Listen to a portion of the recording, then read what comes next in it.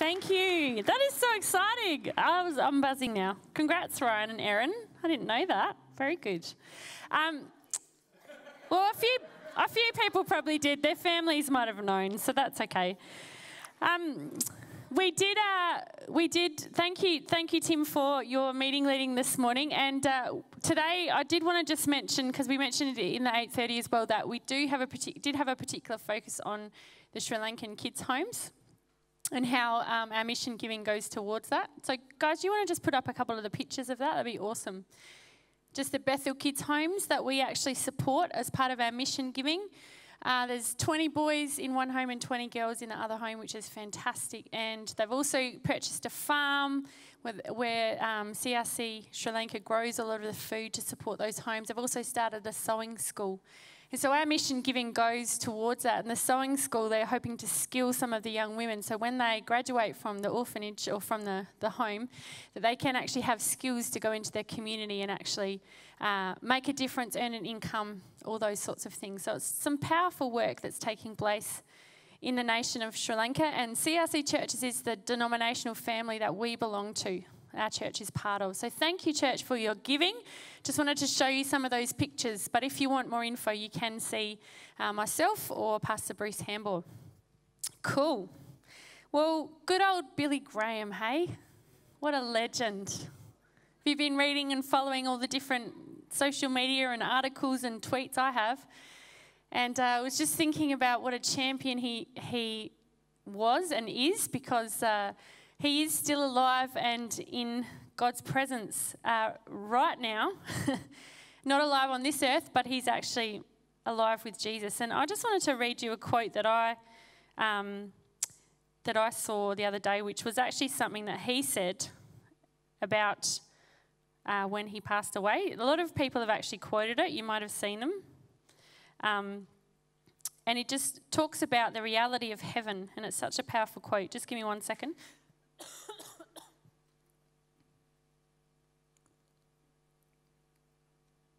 It may not be working. Basically, he just says, you know, you, one day you're going to hear and you're going to read that Billy Graham's passed away. But don't, don't be fooled, don't be upset because I've actually just changed address. I'm very much alive and in the presence of God. And I saw, so, so many people have been quoting it, and it's such a powerful quote about the reality of heaven and and the fact that he was someone who was steadfast in his commitment to understanding that people's eternities hang in the balance. You know, he was a steadfast in his witness for Jesus and in someone who I'm just thinking about how much he equipped even the local church, like the Billy Graham organization. He was preaching the gospel evangelists, having all these rallies, but often months and years before they went into a town that they would get together the leaders of the church and then equip people on how to pray, how to follow up new believers, how to connect them into the local church. And so, yeah, what a champion, what a hero. And uh, it just reminds us, just like he understood that heaven is real, that people's eternal destinations hang in the balance, that the church really is the message that we've got and who we are. We really are the hope of the world. And that's what this whole series has been about about being the church that we can be the church that Jesus has a vision for, the church that Jesus shed his blood to purchase so that God could have a people for himself upon the earth, the church that can enfold and welcome new people into his family. It's this beautiful reality that Jesus has made possible. And with the Holy Spirit's help, it's the church we can, we really can be. And so God calls us to keep on growing up into this reality of being the church we can be. And this is the final week of our series. Uh, and the scripture we're looking at this morning is Ephesians 4. Uh, verses 12 through to 16, the second part of verse 12. So we're going to read that together. Not the whole verse won't be up on your screen, but then we're going to unpack. Oh, they have legends. Or maybe that's just the first bit. That's all right. All right. Ephesians 4 it starts just a bit before says that so that the purpose of God equipping or giving gifts to his people so that they can equip his church for works of service. So pastors, prophets, evangelists, teachers talks all about that, equipping the church so that the body of Christ may be built up until we all reach unity in the faith and in the knowledge of the Son of God and become mature, attaining to the whole measure of the fullness of Christ. Then we will no longer be like infants, tossed back and forth by the waves and blown here and there by every wind of teaching and by the cunning and craftiness of people in their deceitful scheming. Instead, speaking the truth in love, we will grow to become, in every respect, the mature body of Him who is the head, that is Christ. From Him, the whole body, joined and held together by every supporting ligament, grows and builds itself up in love as each part does its special work. I want to start by just helping us think about something that we are, we, not a building, we are part of the church we can be. If, we're, if you're a follower of Jesus here today, uh, and if you're our guest, you're welcome to be here and check out what Christian faith means. But if you're a follower of Jesus here today, we collectively are part of his universal church, but we're also part of this local church. But just as that's true, sometimes it can be easy to say, well, we, oh yeah, we, we're the church, awesome. It can be hard sometimes to apply that to I. What does that mean for my involvement and my participation and my contribution to the collective body? So I want to talk about some things and help you help us to focus on some things that come out of this scripture uh, that we just read that help us to see that to be the church we can be. Like Pastor Tim said in week, I think, three, I need to take some personal responsibility. There's we, but the we is made up of lots of little individual parts, right? So it has application for me personally, what I need to do. So the first thing I wanted us to think about is to be the church we can be, I can't stay how I am now.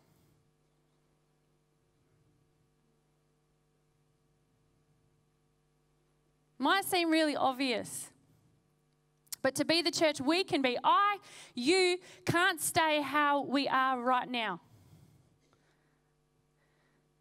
To become an adult, a child cannot stay as a child. Right? As much as they want to, they never want to, I don't want to grow up. I'm going to live with mum and dad forever. So my kids say to me. Now they've planned it three levels. Callan lives on the top, Angus in the middle, mum and dad on the bottom. Like, just talk to your wives about that later. They might not be happy with that. but think of the developmental growth of infants into toddlers and then into preschoolers, then into primary schoolers, and then into pre-teens and teens and adults, mature adults. And then those who are spiritual and biological parents. Think about the growth and the developmental change that happens. We don't necessarily like growth because growth requires change and stretching and pruning and letting go of old ways of doing things to embrace something far better. It's uncomfortable, it's inconvenient, it's messy, and we can't control it. Probably why we don't like it. we don't love change. We can't fully see the benefits of growth and change when it's happening, but in hindsight, we can look back and go, do you know what? That was really good for me. But we can't see it when we're right in the midst of it sometimes. Lasting change requires the right environment and the right ingredients, and it usually takes time. Anything of worth, lasting worth, usually. There's a great book by Dr. Henry Cloud and Dr. John Townsend called How People Grow. It's a fantastic book. Um, and he talks about this formula, which is what basically what the Bible teaches, which is that to grow, grace plus truth plus time is what's needed. Grace plus truth applied over time equals growth.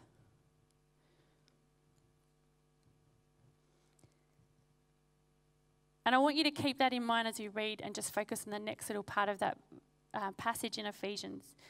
It says, in Ephesians 4:12, just the first little bit, 12b to the first part of 13, it says, "So that the body of Christ may be built up until we all reach unity in the faith and in the knowledge of the Son of God."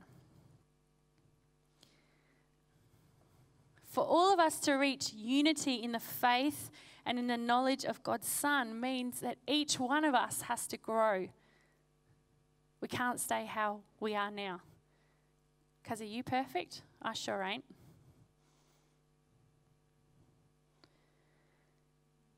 To grow, we need to have a clearer picture of Jesus as he really is, an ever increasing, clearer picture of Jesus as he really is. We need to have exposure to the truth.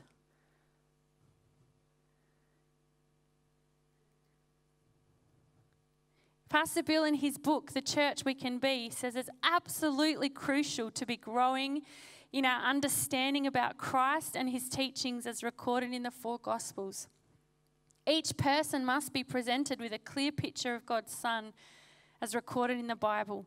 We can't divorce Jesus from what we believe and how we should live. His words and the apostles' application of his teachings in the New Testament writings can be difficult to understand, hard to follow, incredibly inconvenient, and even unpopular. However, if we really believe that Jesus is the way, the truth, and the life as God's Son, we must align ourselves to Him. This is the essence of Christian discipleship. Jesus is Lord. We sang about it this morning. And we are to submit to His governance for our lives. We cannot invent a Jesus of our own making who's going to tell us everything what we want to hear because he's not going to tell everything tell us everything we want to hear. he's going to tell us things that help us grow and help us become more like him. Because he is God and we are not. He is truth, and so who he is and what he says is ultimate reality.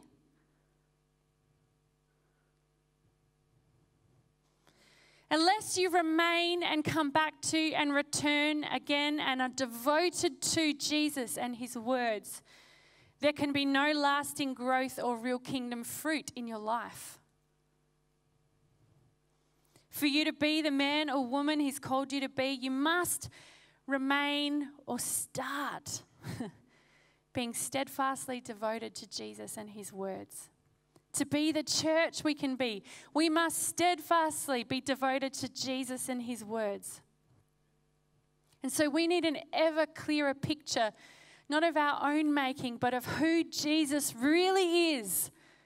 And we can only find that as we read him, about him, and the Holy Spirit uh, shows us what he's like in the Bible.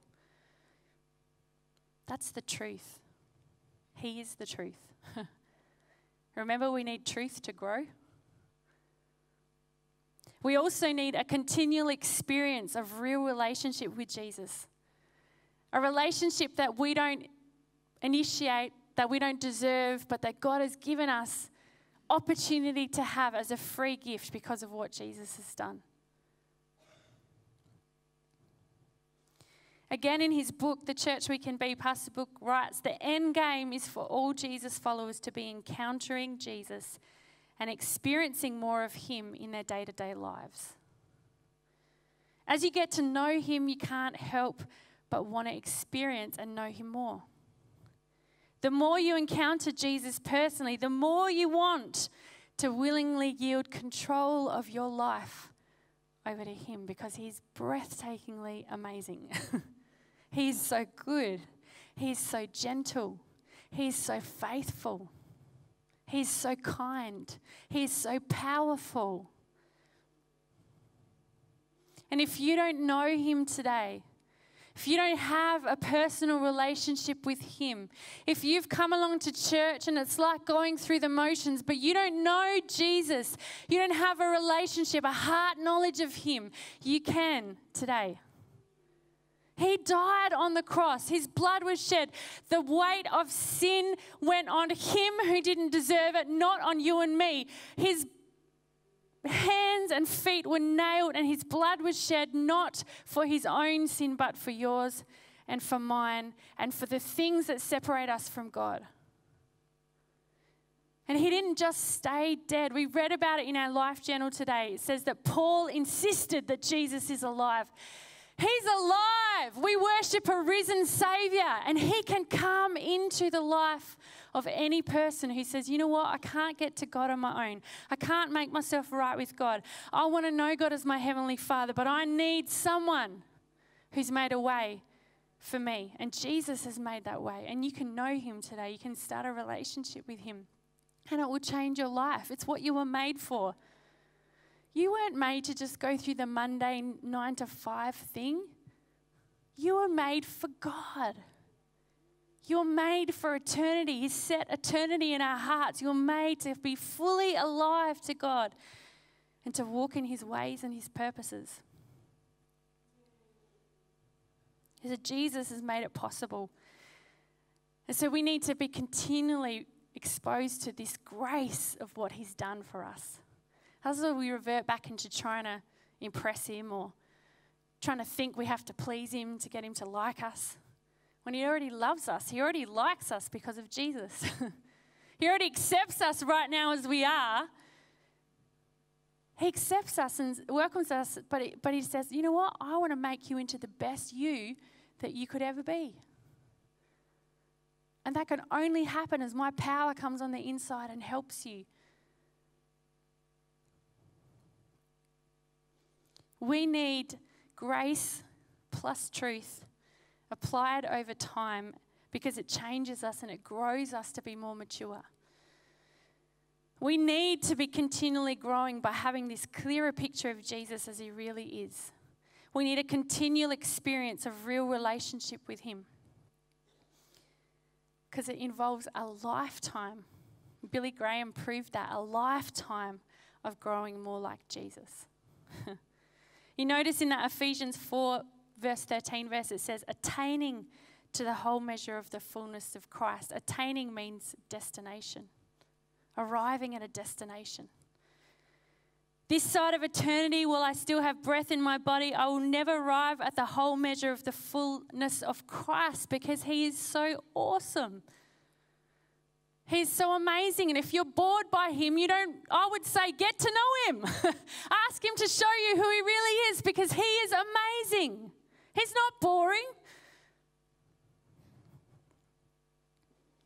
But this is our goal Christ likeness to increasingly become more like Christ. Notice that it's not just one, it's not just truth, and it's not just grace, and it's not just time that causes growth, but all three.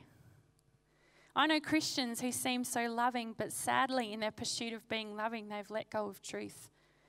They've violated their conscience gone against what the Bible teaches and refused to stand for what is right in God's sight.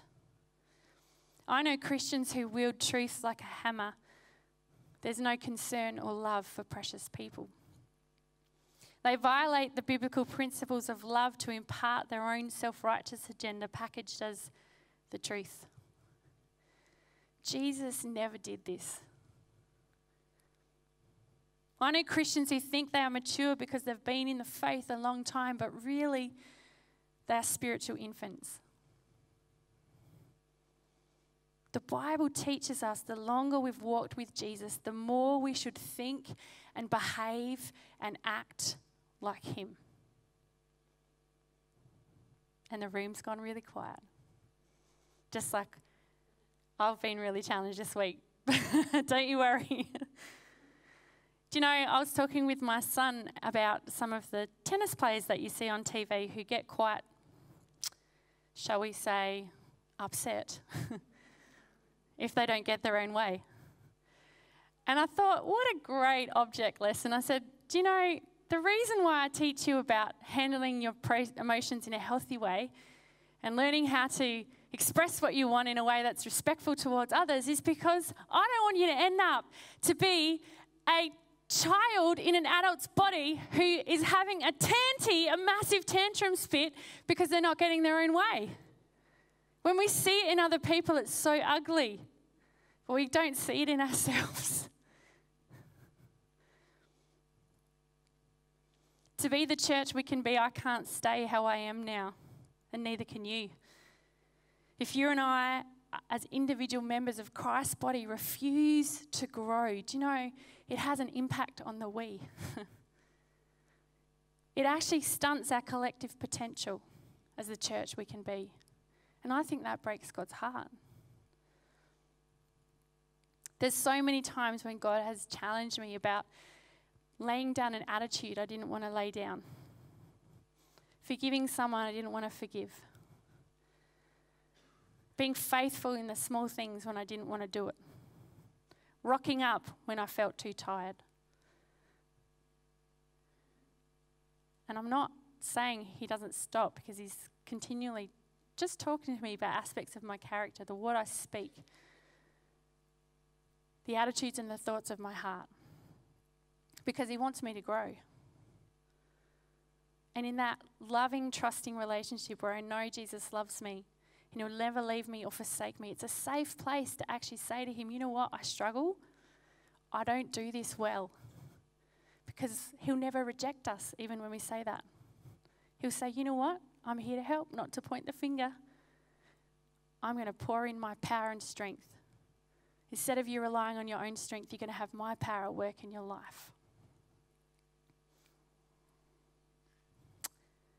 To be the church we can be, I can't stay how I am now, but also I can't settle for fake spirituality.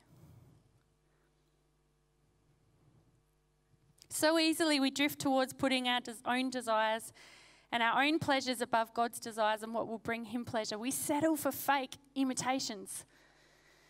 One of the most challenging passages of scripture is 2 Timothy chapter 3 verses 1 to 5 and we're going to read this together. He says to Timothy, "But mark this, there will be terrible times in the last days. People will be lovers of themselves, lovers of money, boastful, proud, abusive, disobedient to their parents, ungrateful, unholy, without love, unforgiving, slanderous, without self-control." brutal, not lovers of the good, treacherous, rash, conceited, lovers of pleasure rather than lovers of God, having a form of godliness but denying its power. Now, the last days he's talking about is the times between Jesus going to be with the Father and him coming back again. We're living in the last days. We don't know when Jesus is coming back, but he's coming back. Could be tomorrow. Just saying, could be.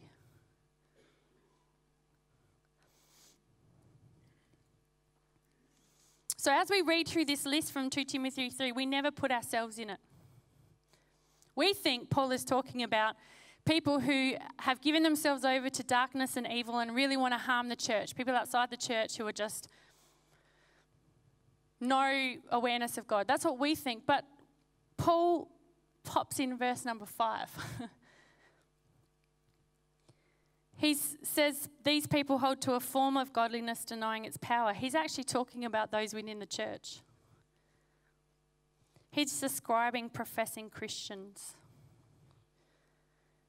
And if we're engaging in some of those behaviors as Christ followers, he's describing us. Now, that's one that'll hit you in the guts. He's describing a fake imitation of living that does not work, walk worthy of this beautiful reality that Jesus has won for us. He's talking about people whose religion is just an empty shell. And the message is even more brutal. it says in verse 5 they'll make a show of religion, but behind the scenes, they're animals. Walzer. He's talking about people who lack the reality of a genuine walk with Jesus. People who look good on the outside. They talk a good line. They put on a good front. But in their motives, their thought lives, and their relationships, they're not growing in godliness. And it's easy to read verse 1 to 4 and dismiss it as not being relevant to us. But Paul included verse 5 for a reason. He said, you can't just put on a show and have outward performance where you don't invite Christ into areas of your life and think that that's going to cause godly growth. There's no power in that. You can't change yourself. I believe he wanted Timothy and us to do some personal soul searching, and trust me, I've been doing a little bit this week preparing for this message. But he wants us to ask, Lord, is that me? Could I be drifting into holding to a form of godliness, but denying you access into an area in my life, and therefore denying the very power that can transform my heart and help me be more like Jesus? If you have the inward reality of a relationship with the Lord, you will be growing in assessing your life each day through the filter of the Bible. Out of gratitude to all He's done for you, you'll be increasingly confessing and forsaking evil thoughts and selfish motivations because you want to bring God pleasure. I'm not talking about perfection, but I'm talking about an increase in desire with these things. You will be consistently wanting to talk to Him about areas where you need His power to grow you more like Christ. You'll be learning to thank Him that He accepts you just as you are and is pleased with you because of Jesus, but regularly acknowledging you need His help to live out His words.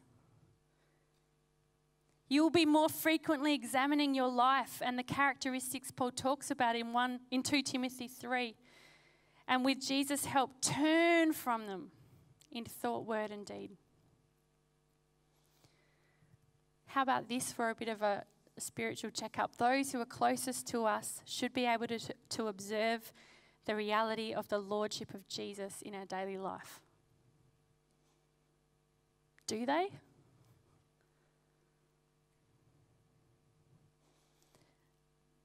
I want to talk about Pastor Bill and Kathy. I can because they're not here. I believe they've been catalysts for the presence and the power of God for over 40 years because they're always allowing Jesus to transform them and to be more like Him. Like on their own admission, they're not perfect. They're very real about areas where they're still growing, but they're dependent on Jesus.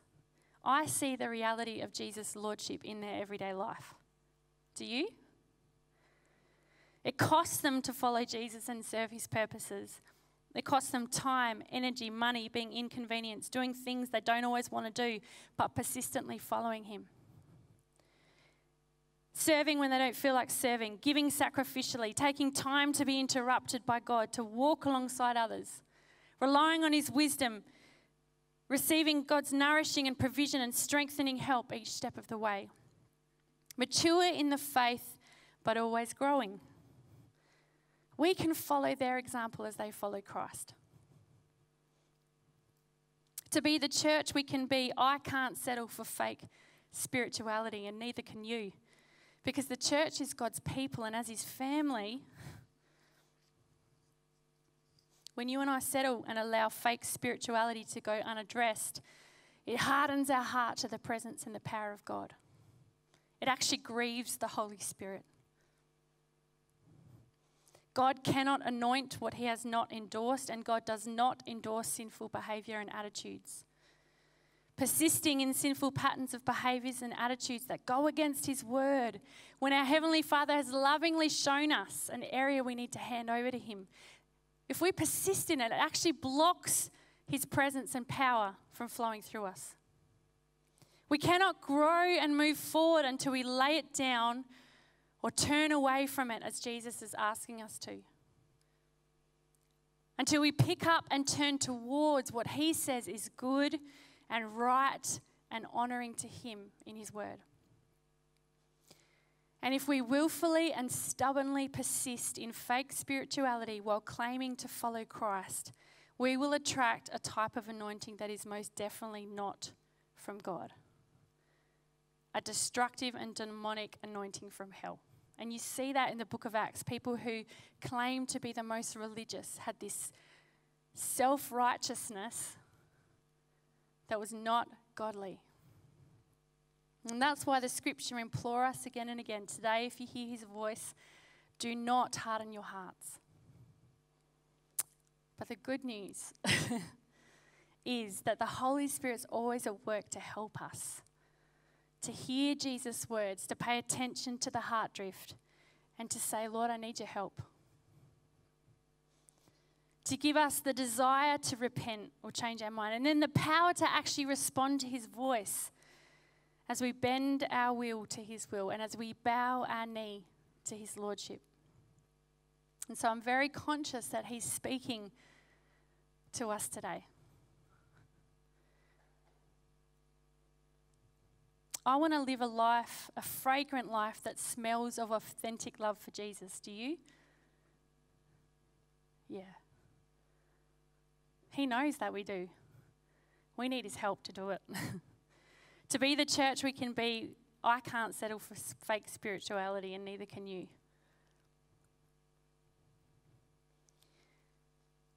To be the church we can be, I need to grow up into Christ.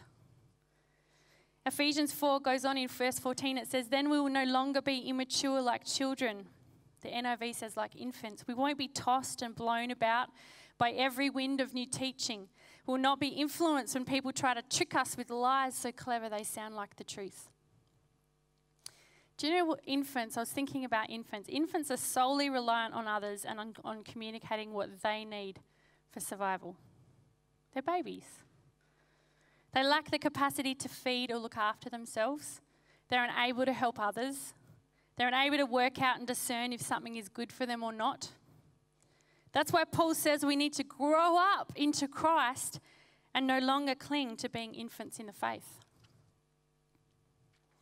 As we grow up in understanding His word, we're not fooled by deceptive heresies and error, which is always exaggerated truth. so I want you to think about this morning who are you listening to on podcasts? What books are you reading? Do the speakers and the authors have a proven track record of selfless service, integrity of character? Are they transparent and accountable for their own conduct? Is what they're teaching Christ honoring and faithful? to what Jesus says and how the apostles apply it. It's so easy to be able to, Tim and I were talking about this, it's so easy to be able to flick off a computer screen or change the channel when we don't like what we hear. That's why coming to church, sitting under the ministry of His Word, we can't actually control that in one sense. can leave whenever we want to, but we can't actually turn it off when we don't like something?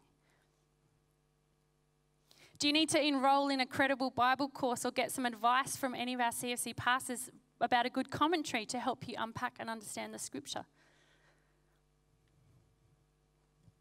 Do you, know, do you need to learn how to be a self feeder of God's word?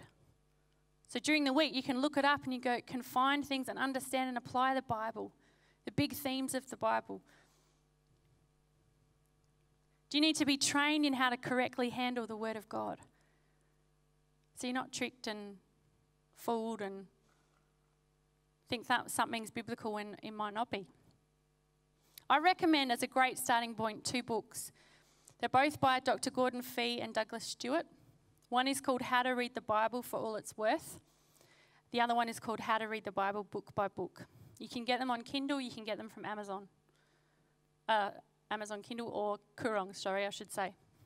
How to read the Bible for all it's worth, how to read the Bible book by book. If you want more information about that, come and see me after. Are you mostly thinking about your week, your schedule, your time, yourself? If you're a Christ follower, the Bible says think of others more highly than yourself. Don't think only of your own interests. Do you need encouragement?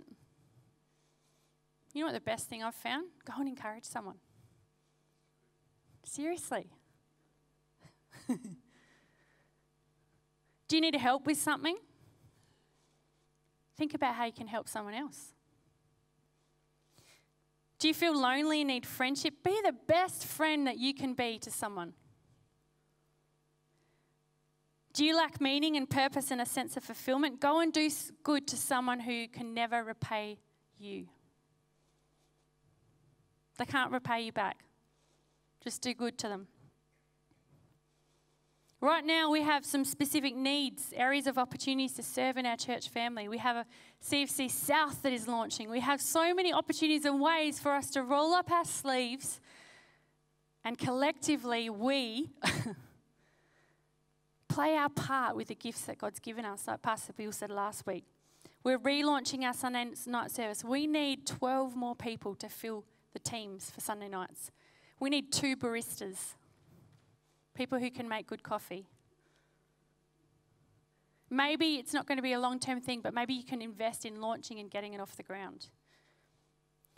We want to start some family connect groups.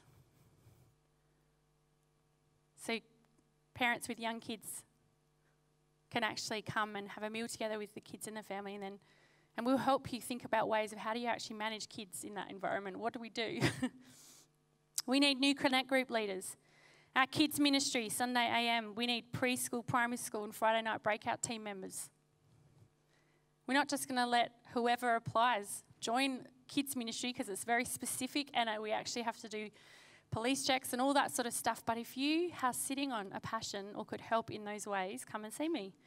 CFC South, my goodness, so many opportunities. What is God saying? Maybe for a time, He's calling you to invest your gifts into getting a new church off the ground. Some of you feel stuck today, but honestly, you don't have to stay there. God's word is not chained and his word is life giving. Start to engage with the Bible again. Open it up and ask Jesus to speak to you. That's a dangerous prayer to pray because he'll honor it and he'll do it. Commit to learning and deepening your knowledge of Scripture. Ask God, how do you want me to play my part in this church? I'm part of this church. This is my family. How do you want me to contribute? We have to grow up in Christ, and we never arrive at that. And lastly, to be the church we can be, I must understand what's at stake. I must understand what's at stake. Paul uses three images to describe Jesus' church as a bride, a body, and an army. What happens when these are not healthy and growing? Well, think of a marriage when there's no intimacy. It's like a legal union. There's no fire, there's no passion, there's no intimacy, there's no closeness. Think of that picture when you think that's not a healthy picture of Jesus' church. We're meant to delight in and worship and adore our Saviour. A body, when it's not healthy, healthy can atrophy. There can be imbalanced growth, can be ineffective and directionless, can be an overuse or reliance on some parts of the body. It's like the body's trying to run, but it's limping. Where do you need to take your place and run your race in this church? What about an army? You can have numbers, you can have masses of soldiers, but if they have no unity, no sense of commander leading them, no sense of being under the authority of the commander, no sense of outworking their mission, there's no momentum. It's like they're impotent with no power. To not be the church we can be is not very attractive to a watching world. It's like the bride picture, people don't want boring religion but no passionate relationship. Why would they want to come to, to a church where they think, oh, yeah, that's good, they're just going through the motions, but there's not really any heart in it?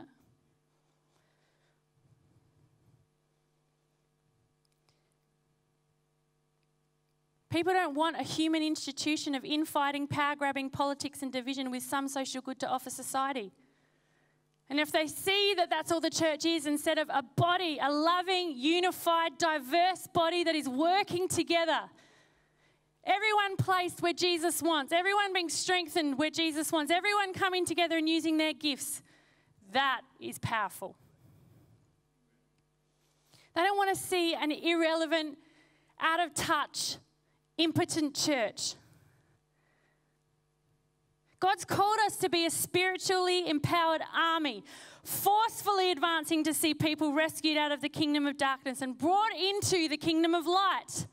Do we believe this, church? What is at stake? Our witness to a resurrected Christ. That is so at stake. Who he is and all he's done. What is at stake? People's eternal futures. And what is at stake? The glory of God the glory of God. I can't stay as I am now. I can't settle for fake spirituality. I can't not and refuse to choose to grow up in Christ. I can't ignore what's at stake. And then Paul says a fantastic word. He says, instead. I love it that he puts that in this passage. It's like he's painting a vision for us how to come back, how to stay true, how to hold fast to this beautiful reality that Jesus sees and has won and who we are in him. He says, instead, we will speak the truth in love. In the John Stott commentary, that speaking the truth in love is not the best rendition of the word. It, it literally means truthing in love, maintaining, living, and doing the truth in love. Instead, we will maintain, live, and do the truth in love, growing up in every way more and more like Christ, who is the head of his body, the church. He makes the whole body fit together perfectly. As each part does its own special work, it helps the other parts grow.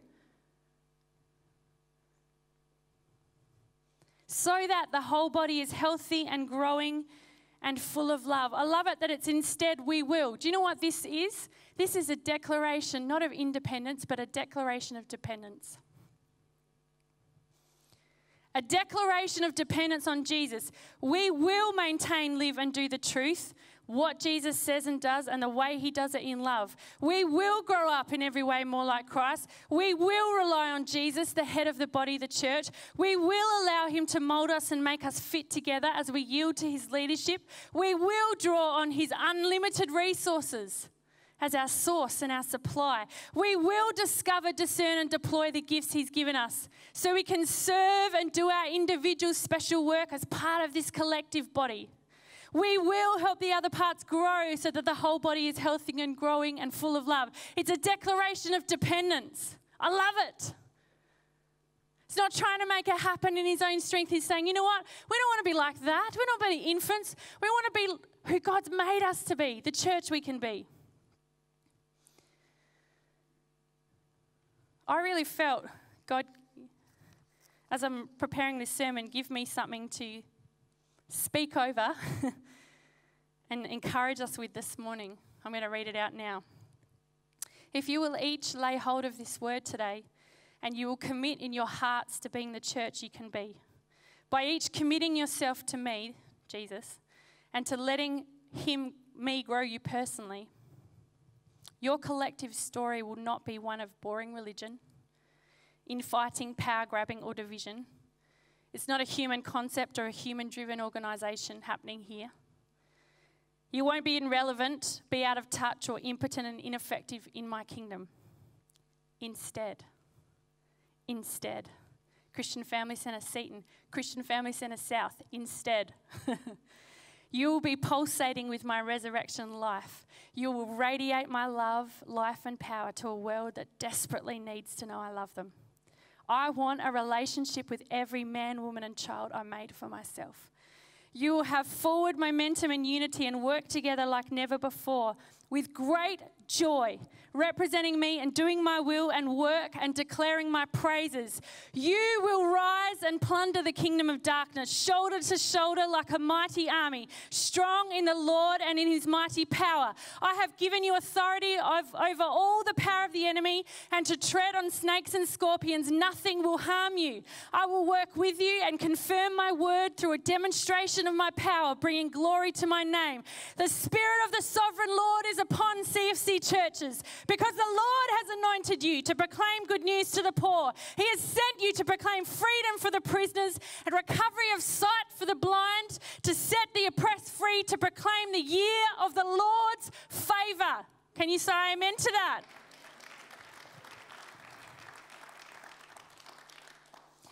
We are making a declaration of dependence this morning. Let's stand to our feet.